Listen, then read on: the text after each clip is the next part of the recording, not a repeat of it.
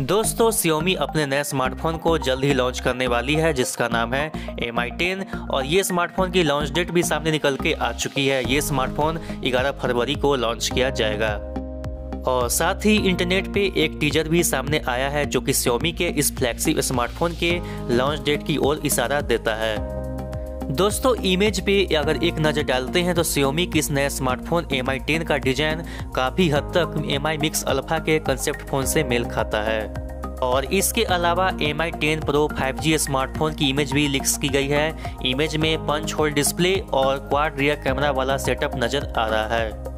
दोस्तों, चीनी micro blogging site Weibo पे एम आई टेन की इमेज लिक्स की गई और इमेज से साफ़ पता चलता है कि ये स्मार्टफ़ोन में मिलने वाला प्रोसेसर क्वालकम स्नैपड्रैगन 865 के साथ आ सकता है और साथ ही ये स्मार्टफ़ोन 11 फरवरी को लॉन्च किया जाएगा और साथ ही इससे पहले भी ये स्मार्टफ़ोन के बारे में लॉन्च डेट की जानकारी दी गई थी।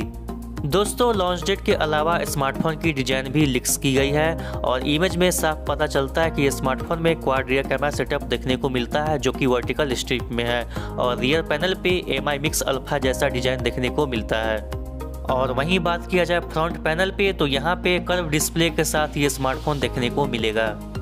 दोस्तों, इसके अलावा M I ten pro five smartphone की इमेज भी लिक्स की गई और इमेज से साफ़ पता चलता है कि इस फ्लैगशिप स्मार्टफ़ोन में पंच होल डिस्प्ले के साथ लॉन्च किया जाएगा और साथ ही इसमें मिलने वाला चार्जर जो कि काफ़ी पावरफुल देखने को मिलता है, यहाँ पे 65 वाट की फास्ट चार्जिंग को सपोर्ट करेगा। दोस्तों M I ten pro five G smartphone की इमेज पे अगर एक नज़र डालते हैं तो उनमें मिलने वाले फीचर्स जो कि speaker grills USB type C port के साथ आता है। इसके अलावा सिम कार्ड स्लॉट देखने को मिलता है और एक माइक्रोफोन भी नज़र आ रहा है।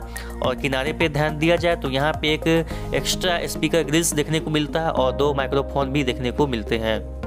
और इसके अलावा इमेज में 65 वाट की चार्जिंग को भी दिखाया गया है।